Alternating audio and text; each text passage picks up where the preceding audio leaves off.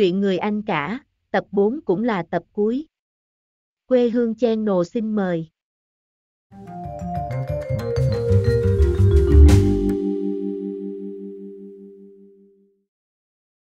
Chương 10, Vượng biết rằng Thịnh thế nào cũng viết thư cho nhàn. Mà nhận được thư, thế nào nhàn cũng lên, quả đúng như chàng đoán, nằm hôm sau nhàn lên thật. Bây giờ, nhàn cũng đã tậu được xe hơi. Thấy Vượng, nhàn hỏi ngay, chị ấy là cô đầu thật đấy à, Vượng gật đầu, đối với em, anh muốn lấy ai thì lấy, nhưng đối với nhà chồng em thì, Vượng cười, can hệ gì đến. Anh tưởng chú ấy đã hiểu anh lắm. Vượng vốn cưng em gái, không muốn nói với em gái những lời quyết liệt, nên cứ khôi hài, cái chuyện con khỉ như thế, hà tất cô để tâm. Có chú Thịnh bây giờ chú ấy ăn phải đũa ông nghị kiểu cách thì chú ấy lo tiếng tâm, chứ cô cũng lo như thế ư. Để rồi chú ấy lên đây, anh sẽ nói với chú ấy. Người ta ở đời, những sự lấy vợ như thế là thường, có nghĩa gì? Thế nào? Chú ấy đã biết chuyện chưa, em chưa dám nói với nhà em, bộ cái việc cỏn con ấy, có nghĩa quái gì?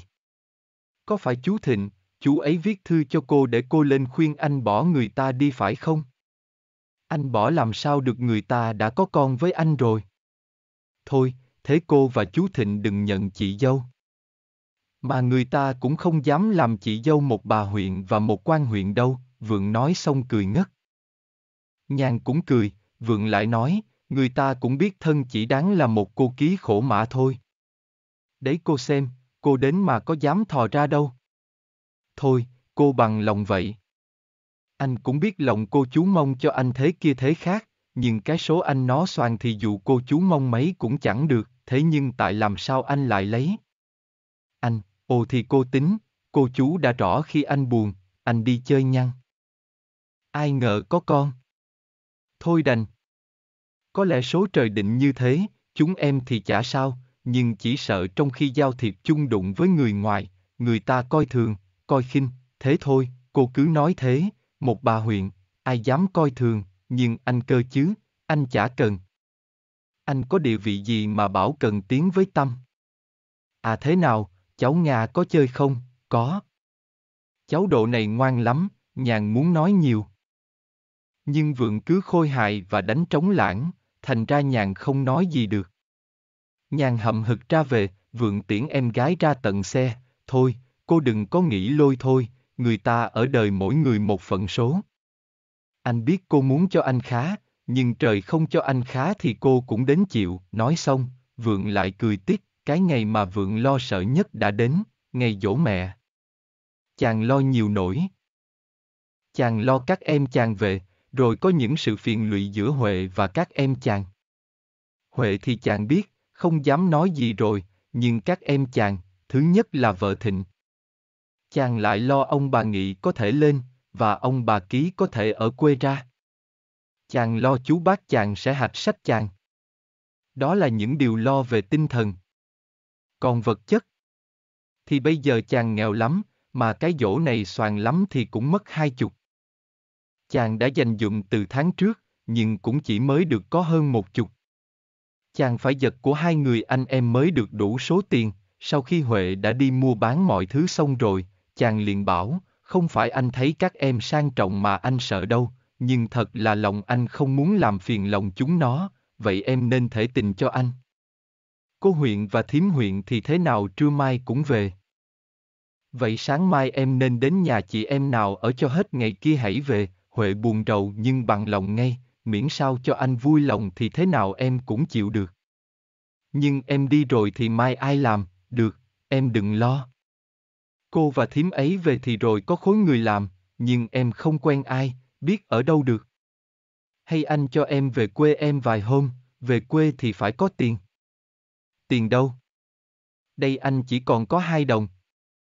Lỡ còn phải tiêu những cái vặt, thôi thế anh cho em một đồng.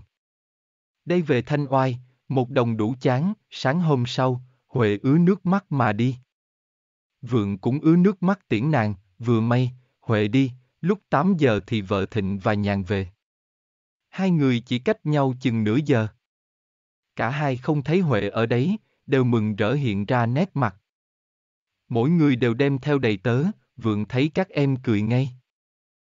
Gớm anh lo quá.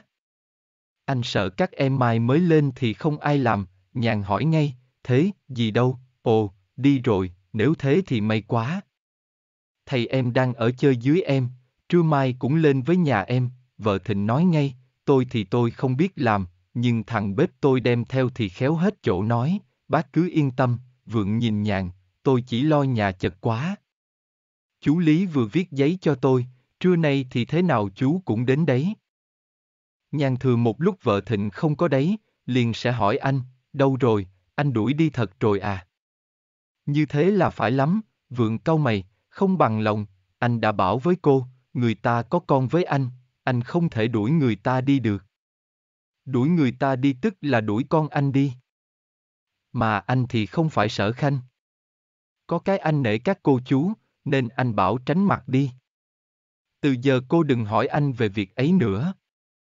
Cô và chú Thịnh chỉ biết đọc có một sự ích kỷ mà thôi, xưa này, Vượng không nói với em bằng một giọng gay gắt như thế bao giờ, nay vì chàng đau đớn quá, không nén nổi lòng, mới bật ra những lời phẫn uất như thế.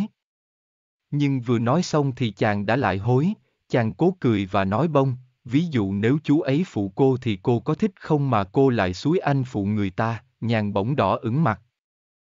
Anh lại đem em ví với người ta thế nào được, vượng biết em giận vội vàng xin lỗi, thì người ta cũng là người, nhưng, nhưng năm bảy hạng người, vượng gật đầu, phải rồi, phải rồi. Nói đùa cô thế thôi, ông Lý quyết đến với đôi gà trống thiến. Thấy các cháu sang cả, ông mừng rỡ, thế này thì mẹ các cháu cùng được vui vẻ ở dưới âm. Lúc thầy các cháu mất đi. Chú chỉ lo xảy đàn tan nhé. Anh cả, bây giờ còn anh lấy vợ đi nữa thế là trong nhà đẹp đẽ cả, vượng lặng thinh không nói, trưa hôm sau, bà Xuân Thái cũng đến. Cũng như ông Lý Quyết, cũng như mọi người, bà khuyên vượng lấy vợ. Vượng chỉ ư hử cho qua. Trông thấy bà Xuân Thái, bao nhiêu kỷ niệm của thuở xưa như sống trả lại ở trong đầu vượng. Vượng thấy một nỗi chua cay đến với lòng mình. Vượng nhìn mọi người thì thấy mọi người đều vui vẻ, không có một mảy may những khổ cực của lòng mình. Sự nhận xét ấy làm cho vượng càng ngao ngán, tai chàng như u, nên chàng không nghe tiếng bà Xuân Thái hỏi mình, thế nào, anh cả, bây giờ anh đã lo liệu cho các cô chú ấy thành đạt cả rồi, anh cũng phải nghĩ đến anh thôi chứ, thấy vượng ngơ ngác không trả lời, thịnh vội đỡ lời hộ.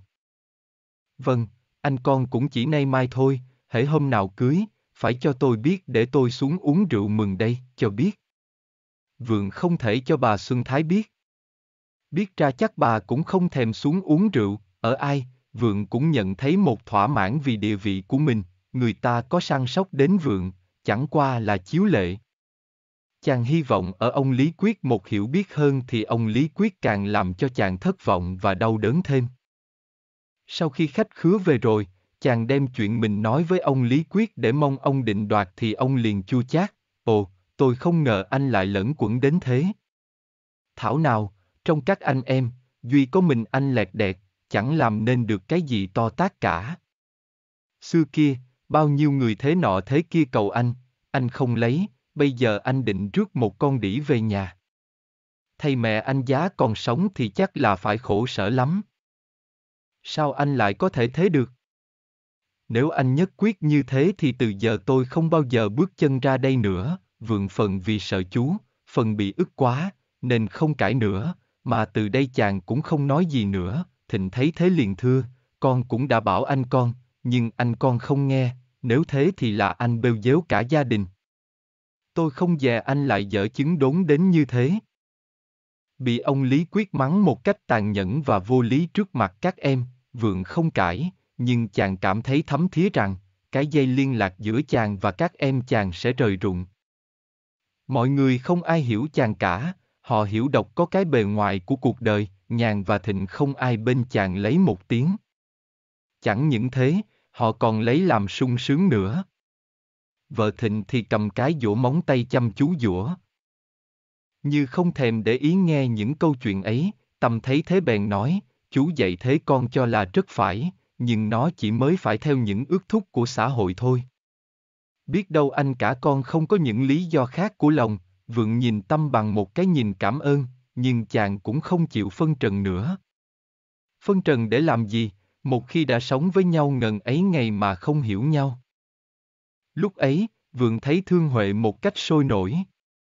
Duy có Huệ là hiểu chàng, thương chàng thôi, ông Lý Quyết nghe Tâm nói thế liền nói to, anh huyện nói như thế là sai. Tôi không biết bây giờ các anh nghĩ thế nào, tôi chỉ biết không gia đình đứng đắn nào có thể chứa chấp được gái giang hồ, thứ nhất anh Vượng lại là con trưởng. Người vợ phải chọn ở những nơi tử tế, chứ một khi đã cắn bậy như thế thì sau này còn hồng gì. À, ra bây giờ tôi mới hiểu. Anh viết giấy về lấy tiền của tôi ra để nuôi đỉ, thịnh nghe chú nói thế liền bảo anh. Tại sao anh không hỏi em, vượng nhếch mép không trả lời. Không muốn phân trần với mọi người, chàng chỉ lặng thinh, ông Lý Quyết không thấy chàng nói gì, lại gặng hỏi, tôi cứ theo lẽ phải mà nói như thế, bây giờ anh định thế nào? Anh còn muốn cho tôi ra đây nữa hay thôi? Tôi thì tôi nói trước cho anh biết tôi không thể có người cháu dâu làm đĩ được đâu. vả lại, anh cũng phải nên nghĩ đến cái địa vị hiện tại của các em anh chứ. Nhàn và Thịnh đồng thanh, vâng, chúng cháu cũng đã nói mãi với anh chúng cháu như thế, anh phải sợ người ta chê cười các em anh chứ, lúc này, vượng bực lắm rồi, không tài nào nén được nữa, nhưng chàng vẫn cung kính, cháu biết những lời chú vừa nói đều do cái chủ tâm muốn cho cháu hay. Ngày nay, thầy cháu mất đi, thì chú thay thầy cháu dạy bảo các cháu. Nhưng cháu thiện nghĩ thói thường thiên hạ chẳng qua thấy đỏ lửa thì xa vào. Mà áo xám thì lãng ra. Vì thế cho nên cái dư luận của họ, cháu cũng không quan tâm cho lắm. Từ trước đến nay, bao giờ cháu cũng chỉ theo lương tâm, không bao giờ suy tính đến sự lợi hại cho riêng mình. Thì bây giờ cũng vẫn cứ theo lương tâm cháu mà cháu làm. Cháu chỉ lo lương tâm cháu trách móc, chứ cháu không tính đến chỗ tiếng tâm với thiên hạ. Người ta đã có con với cháu thì cháu lấy. Được tiếng với thiên hạ mà để cho mình phải khinh mình thì cháu chịu, thế nghĩa là nhất định anh không nghe lời tôi, thế chú bảo cháu bỏ con cháu ư, ai bảo anh bỏ. Anh có thể cho người ta một món tiền, rồi bắt lấy con. Con thì đằng nào chẳng là con anh, vượng lặng thinh không nói. Ông Lý Quyết thấy mặt vượng đầy tức bực, liền đấu dịu, không, chú nói thế, anh nghe chú hay không thì tùy. Anh bây giờ lớn rồi, chú không có quyền đối với anh nữa, sao chú lại nói thế, bao giờ chú cũng có quyền. Chú xem trong mười mấy năm nay, từ ngày thầy cháu mất đi, cháu có làm điều gì cho chú phải trách mắng đâu.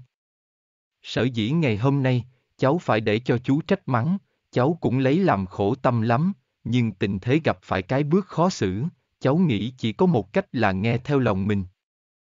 Lòng những người mê gái có thể lầm lắm, vượng bỗng hoa cả mắt. Chàng thấy muốn khóc, nhưng nước mắt không trào ra mà lại chạy trở vào trong. Chàng nghẹn ngào bảo, cháu thì không bao giờ dám cãi chú, nhưng vừa rồi, chú cho cháu là mê gái thì oan cho cháu. Cháu phải nghĩ đến giọt máu của cháu chứ thật ra thì người này không làm cho cháu say mê bằng những người trước kia. Nhưng thôi nói làm gì nữa.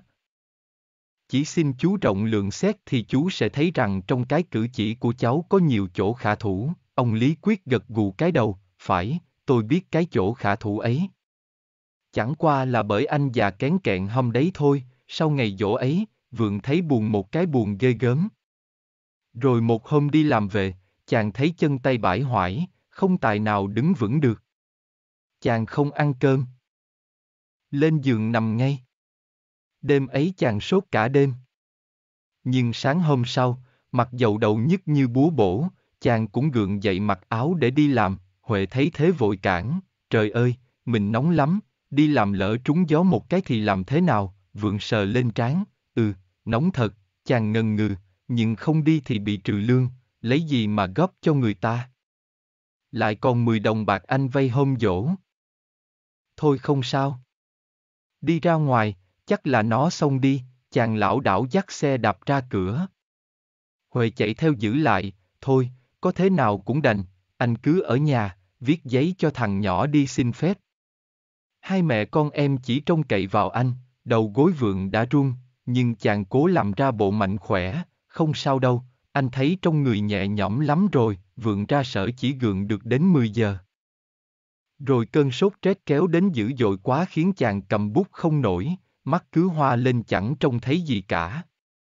Chàng phải buộc lòng vào buồn chủ xin phép nghỉ, chủ thấy thế không bằng lòng, công việc bề bộn thế này mà anh nghĩ thì ai làm, nhưng trông thấy mặt vượng đỏ gay, ông lại vội nói, thôi anh nghỉ hôm nay, mai đỡ thì cố mà đi làm nhé, ngày mai cũng không đỡ, ngày kia cũng không đỡ. Vượng bị sốt ly bì trong nửa tháng trời. Lúc tiền trong nhà đã hết sạch, và có cái gì đáng giá, Huệ đã cầm bán hết rồi thì Vượng tỉnh dậy. Vượng tỉnh dậy trong một buổi sáng mùa xuân cảnh vật đẹp như vẻ, Huệ thấy Vượng tỉnh, mừng rỡ ôm chầm lấy, Vượng giơ bàn tay gầy trơ xương, vuốt má nàng, anh sốt ghê lắm phải không, anh sốt khiếp lắm, em tưởng là anh nguy. Bây giờ anh thấy trong người thế nào, thấy đỡ. À từ hôm anh sốt, không có ai đến chứ, không. Chỉ có người tùy phái ở sở, ông chủ sai đến hỏi xem anh khỏi chưa, vượng toan ngồi dậy, nhưng vì sức yếu quá, chàng lại phải nằm xuống, mình không viết thư cho cô, chủ đấy chứ, không. Em định nếu mai kia mà mình không bớt thì em đánh dây thép cho. Chú huyện, vượng xua tay. Đừng, đừng. Mình có gì cho anh ăn, anh thấy đói cào ruột, em bảo nấu cháo nhé, cháo thì lâu. Có sữa pha cho anh uống, thấy vợ lặng thinh, vượng chợt nhớ ra rằng hôm mình ốm, nhà chỉ còn có năm hào, em hết tiền rồi phải không? Huệ ứa nước mắt, gật đầu. Vượng không bằng lòng, ồ, tại làm sao em khóc? Em khóc vì chúng ta nghèo phải không? Huệ úp mặt vào ngực vượng khóc to. Không phải thế. Em khóc vì bây giờ không lấy tiền đâu mà lấy thuốc cho anh nữa, ồ, thế mà anh vẫn chẳng chết cơ mà. Thôi nín đi, anh không thích những sự khóc lóc. À thế nào, em làm thế nào mà sống từ hôm nọ đến nay, nhà còn gạo đông từ đầu tháng. Em chỉ phải lấy thuốc cho anh thôi. Quần áo em cầm hết cả rồi, giá bây giờ có chục bạc lấy cho anh mươi thang thuốc nữa thì. Bây giờ, anh lại cần tẩm bổ, Huệ nói xong lại khóc. Vượng cau mày, kìa, anh đã bảo đừng khóc. Anh không bằng lòng mà. Hôm nay, bao nhiêu rồi nhỉ, 25 tây, trời ơi, ra anh ống trong hai tuần lễ cơ à. Không biết từ nay đến cuối tháng, anh có thể dậy đi làm để lĩnh lương không, khó lòng. Dù thế nào em cũng không cho anh đi đâu. Nhưng từ nay đến hôm ấy. Lấy gì? Vượng giơ tay, im, im, chàng ngẫm nghĩ một lát, mình gọi thằng nhỏ lên đây tôi bảo. Bảo nó đi gọi anh Long Tông ở sở, rồi nhờ y đi bán cái xe đạp, bán đi thì rồi hôm nào anh lấy gì mà đi làm, ồ đến đâu hay đây? Chờ lúc ấy sẽ hay. Anh đi bộ có sao, chiếc xe đạp bán tống bán tháo chỉ được có 20 đồng. Người tùy phái nhăn nhó mang đến, giá ông để thư thư con tìm người mua thì cũng được ba bốn chục. Vượng nhắc lời, thôi không cần, miễn là cho qua lúc này. À ông chủ có hỏi gì tôi không, ông chủ cho con lại xem ông đã khỏi chưa tất cả mấy bận. Công việc không có ông ùn cả lên. Ông chủ nói nếu cuối tháng này, ông không khỏi thì sẽ mượn người khác, may ra thì khỏi, bây giờ tôi hết sốt rồi, nhưng ông gầy lắm, đã đi lại thế nào được, vượng chép miệng, không đi lại được cũng phải cố mà đi. Người tùy phái đi rồi, vượng đưa tiền cho vợ, mình cầm những gì, đem chuột lại, Huệ không nghe, ồ cần gì mặc, em có đi đến đâu, chỉ đi lấy thuốc cho mình và để mình tẩm bổ, là mình mạnh khỏe. Mình nằm nhà để em mua sữa và gọi ông Lan nhé. Ba hôm sau, Vượng đã ngồi dậy được ăn trả bữa, nhưng chỉ đi được mấy bước chàng đã thở dốc. Chàng nhìn lên tập lịch lo lắng. Thế này thì không biết bao nhiêu ngày nữa mới đi làm được, ít nhất thì cũng nửa tháng nữa, nhưng thế thì bị đuổi. Việc làm độ rầy kiếm khó lắm, mặt, cứ chờ mình mạnh khỏe đã, còn người là còn của, đành thế, nhưng tiền nhà, tiền nợ và tiền ăn, lấy vào đâu, Huệ không muốn cho Vượng đi làm, nhưng nghe Vượng nói thế, nàng cũng không biết tính làm sao. Nàng ngần ngừ một lát. Hay mình viết thư xuống hỏi vay cô huyện, hay chú huyện ít tiền, Vượng lườm vợ, đàn bà là chúa tham, từ giờ mình nên bỏ những ý tưởng ấy đi. Người ta chỉ ba lần nghĩ bậy như thế là hết đời. Mình còn bao nhiêu đây, em còn sáu đồng. Chiều nay ông Lan đến còn phải trả ông ấy hai đồng, được rồi, đủ đến hôm ấy.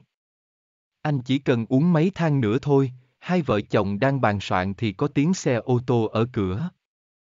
Vượng vội vàng gượng gạo đi ra. Thịnh đẩy cửa bước vào. Trông thấy vượng xanh và gầy, Thịnh hỏi ngay, anh làm sao đấy, vượng vịn tay vào ghế cho khỏi rung chân, không? Mệt xoan. Chú về có việc gì, Thịnh nghe vượng nói thế không để ý đến sự gầy yếu của vượng nữa. Tôi về có tí việc. Tôi định, thay sang tri huyện hành chính và nhân thể về lấy nhẫn vòng cho nhà tôi, vừa nói, Thịnh vừa móc túi lấy ra một cái hộp. Rồi mở hộp đưa cho vượng xem, anh nhìn, chữa có một cái cuốn như thế này mà họ tính những chục bạc. Đắt quá nhưng vì là bạch kim, chỉ duy có mình hiệu Tây là có máy chữa. Thứ này rắn không thể làm bằng tay được, chiều lòng em. Vượng cầm lấy xem, rồi đưa trả lại, ừ khó chữa thật, hôm nay chú ở chơi đây chứ, không, tôi lại thăm anh một tí rồi tôi phải đi ngay. Tôi còn phải đem vòng nhẫn về cho nhà tôi để tối nó đi dự dạ hội.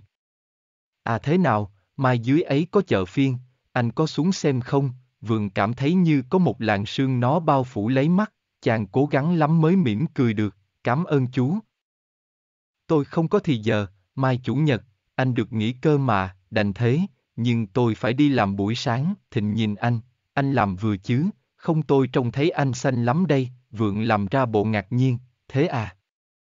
Nhưng tôi không thấy trong người làm sao cả, à quên, tôi nhờ anh một việc, anh nhớ dùng cho nhé.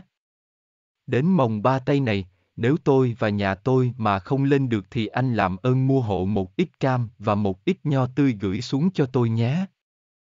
Anh nhớ gửi chuyến tàu trưa mới kịp vì mồng năm, tôi phải đãi tiệc, được rồi, nhưng mua độ bao nhiêu, mỗi thứ độ dăm cân.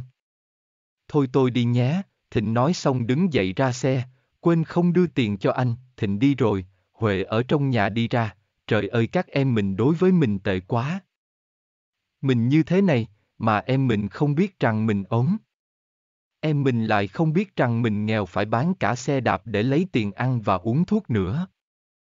Sao em nghe người ta nói trước kia mình ở với em mình tốt lắm cơ mà, vượng quắt mắt, ô hay, mình hư quá nhỉ?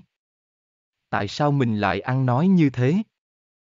Một trăm gia đình, anh em bất hòa đều vì người đàn bà. Đúng quá.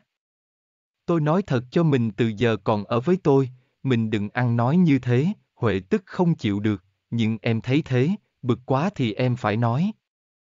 Mình xưa kia đối với các cô chú ấy như thế nào mà nay các cô chú ấy đối với mình như thế? Hôm nay lấy đâu ra hơn chục bạc để mua cam và nho mà gửi xuống, vượng nghiến răng. Rồi chàng hầm hầm cầm chiếc chén ở trên bàn đập tan xuống sàn, tôi không bao giờ bằng lòng để cho gà mái gáy ở trong nhà nhé, Huệ thấy thế hoảng sợ, vội vàng đi nhặt những mảnh chén. Vượng lặng lẽ ngồi nhìn nàng. Sau khi nhặt xong, Huệ vừa toan lại gần Vượng để xin lỗi thì Vượng đã du ngay ra. Cút đi. Với những người đàn bà thiểu tâm đức như mình thì anh em dễ giết nhau lắm. Mình nên nhớ, đã là kẻ bề trên thì chỉ biết có sự trông xuống, mà chẳng cần đến sự kẻ dưới trông lên. Tôi là anh chúng nó, chứ tôi có phải là bạn chúng nó đâu mà bảo tôi đi so kè về sự chúng nó đối với tôi tốt hay không tốt, vượng nói xong, thấy mệt, dựa đầu vào thành ghế. Huệ không dám lại gần và không dám nói gì. Chỉ đứng xa ngó, thằng nhỏ bưng cơm lên, vượng ngồi vào ăn, cũng chẳng nói với Huệ một lời. Huệ càng sợ. Sau khi cơm xong, Huệ rót chén nước rồi rón rén lại gần vượng. Thấy cái điệu bộ ấy, vượng thương hại, đàn bà các em bụng dạ hẹp hòi lắm. Các em chỉ có một lòng yêu, nhưng lòng yêu ấy lại dựa vào lòng ích kỷ. Việc đời nếu xử theo lòng các em và xét theo con mắt các em thì không còn cái gì là đẹp đẽ nữa. Các em không biết tìm ngay thấy ở trong sự nghèo nạn và nguồn đau đớn những lẽ sống nó làm cho mình quên ngay cái nghèo nạn và đau đớn ấy đi. Huệ ngồi xuống cạnh vượng, thôi em xin lỗi mình.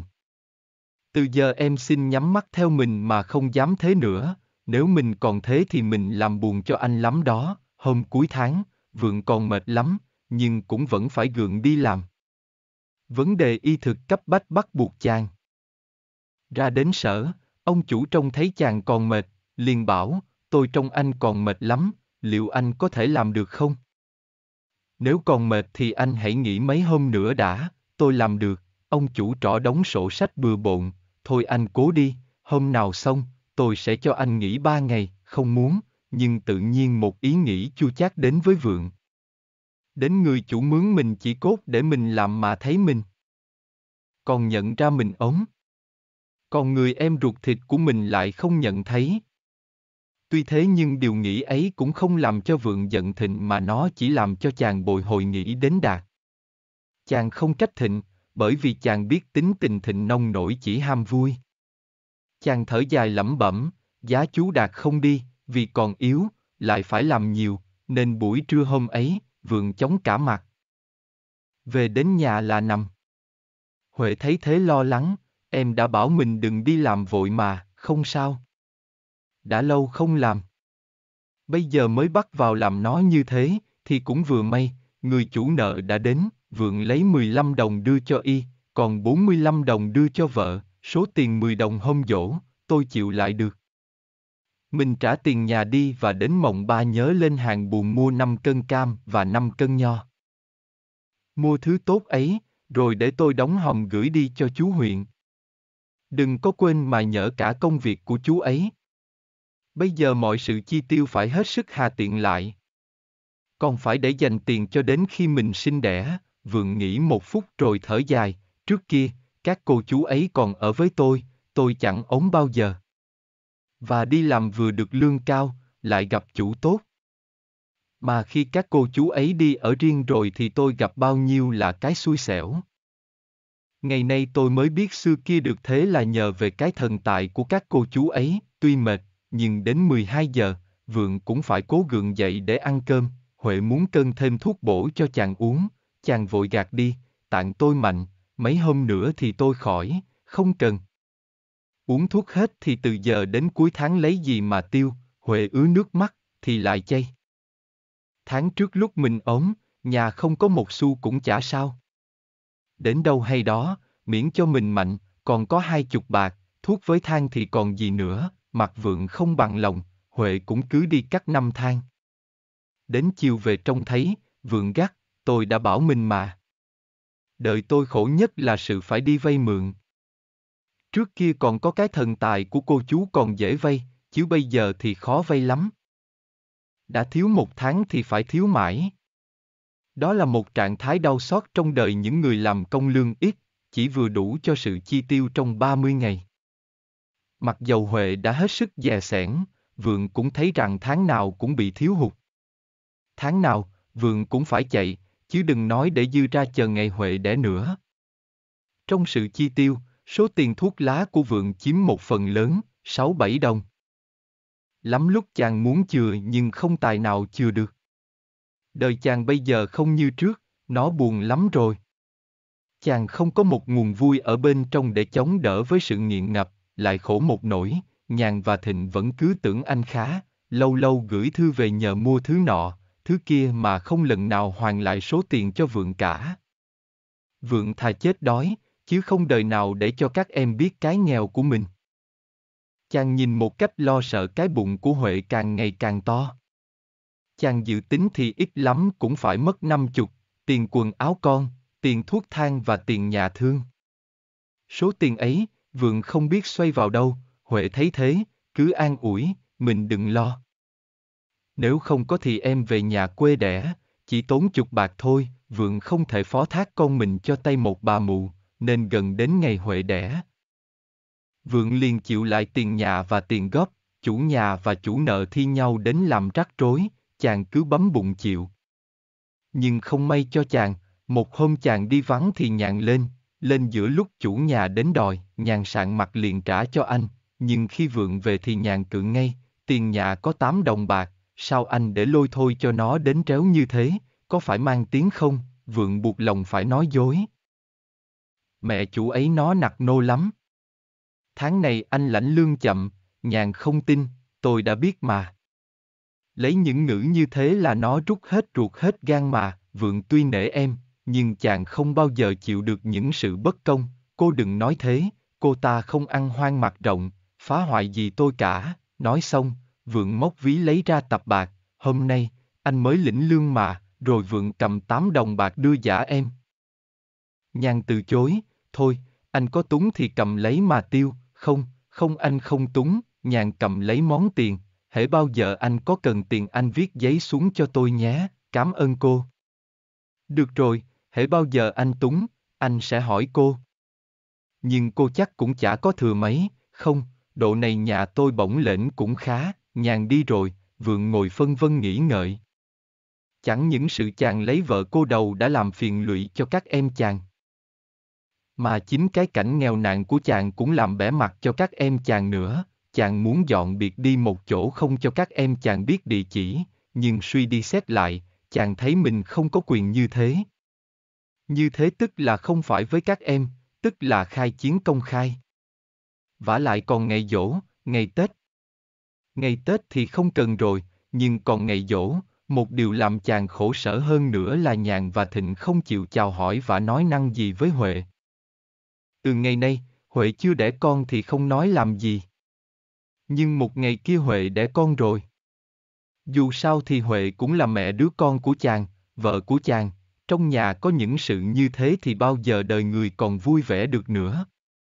Chàng lại khổ một điều là chú, bác chàng ở nhà quê bây giờ lại thường xuống chơi với nhàn và thịnh, chứ không bao giờ lên chơi với chàng nữa, vì có những ý nghĩ ấy.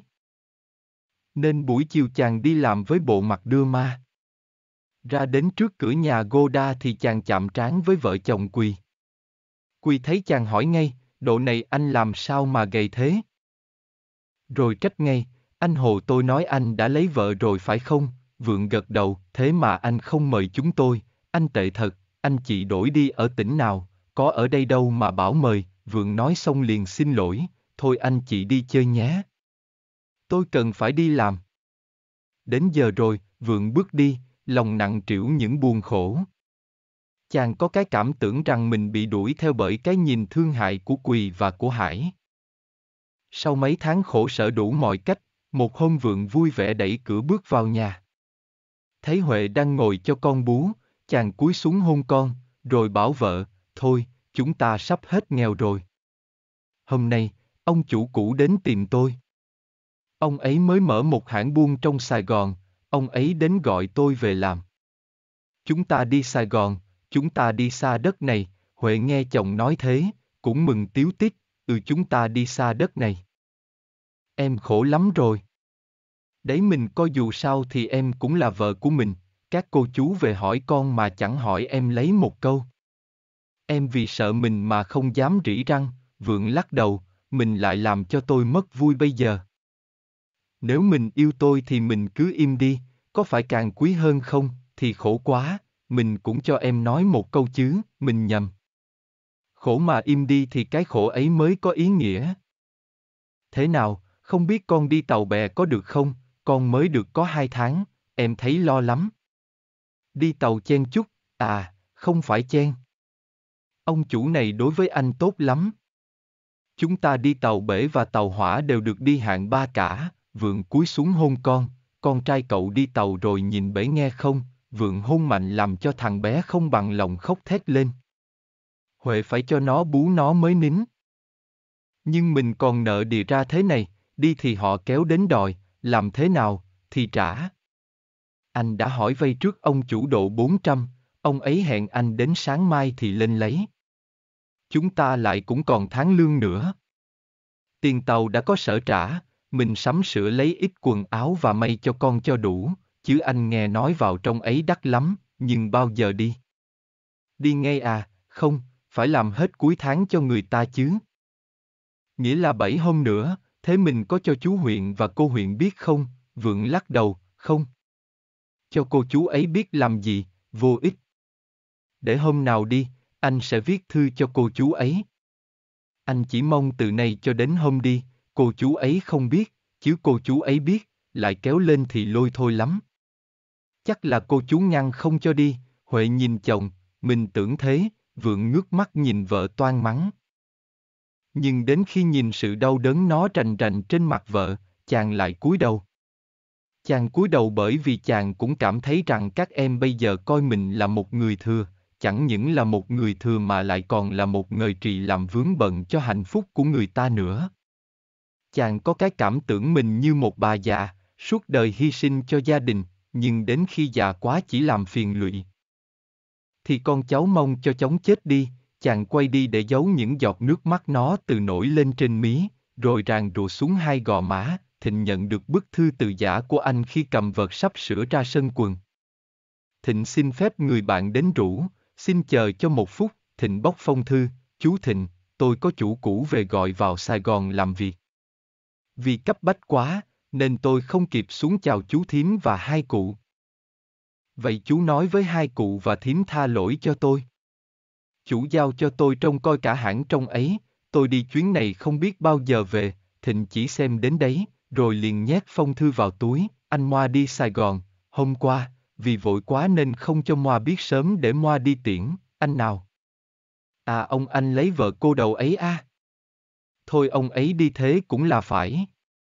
Chứ không, một khi vợ toa gặp mặt cô đầu thì biết xưng hô thế nào.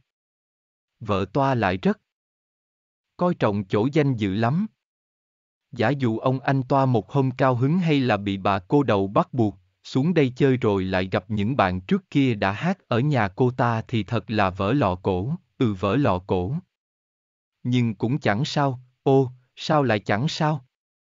Ví dụ bà ấy đến trong khi vợ toa đang tiếp khách, trong khi có bà chánh án, bà tuần ở nhà toa chẳng hạn thì, biến thật, quan huyện nói xong thở dài. Người ta không biết cái thở dài ấy là thở dài nhớ anh, hay là thở dài vì khoan khoái, người đàn bà thật thà hơn. Sau khi đọc xong bức thư từ giả của vượng, nhàn bảo chồng, thôi cho bác ấy đi như thế cũng phải. Ở đây thì khó chịu lắm cơ. Mỗi một lần tôi lên, gặp cô ả, mình không còn biết nói thế nào. Anh huyện là anh ấy khổ lắm, nhất là chị huyện, chị ấy ghét cay ghét đắng cô ả. Hôm nọ, chị ấy lên thăm cháu, chị ấy chỉ bế cháu, chứ không hỏi cô ả một lời. Tôi lại còn hỏi một câu bác có mạnh khỏe không? May cô ả không gọi mình bằng em mà lại gọi mình bằng bà, nhàn nói xong thở dài.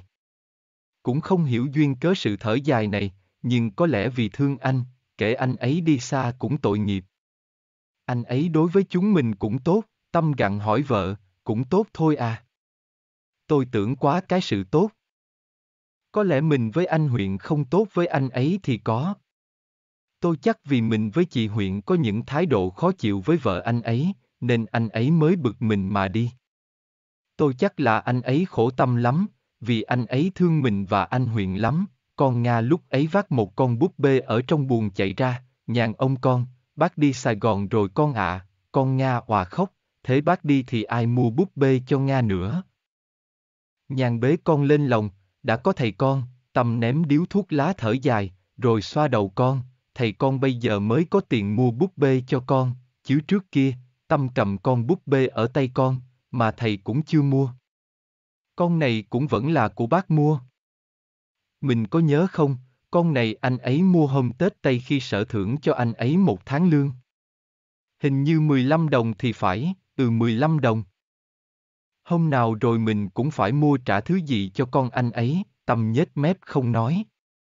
Chàng cúi đầu lặng lẽ nghĩ ngợi một lúc lâu, rồi bảo vợ, mình nhớ sáng mai có viết thư cho bác thì bảo bác thế nào Tết cũng ra chơi nhé. Anh có nhiều điều muốn nói với bác. Và mình nhớ phải hỏi thăm chị ấy nữa. Truyện đến đây là hết, mời bạn bấm vào nút subscribe, đăng ký, đó là nghĩa cử ân tình nhất, Quê hương Chen Độ cảm ơn bạn rất nhiều.